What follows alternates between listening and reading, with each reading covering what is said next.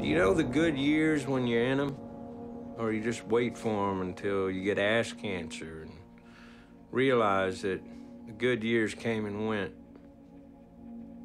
Because there's a feeling, uh, you might notice it sometime, this feeling like life has slipped through your fingers.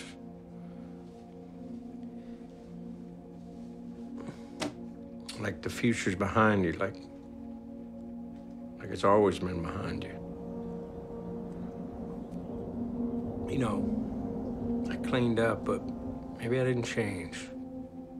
Not the way I needed to. Give it back. Give it back. Remember what I said about the detective's curse?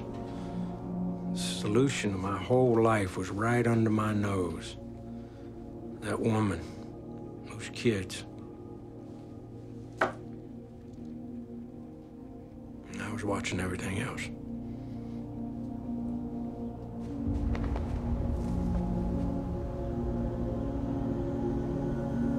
See, infidelity is one kind of sin, but my true failure was inattention. I understand that now.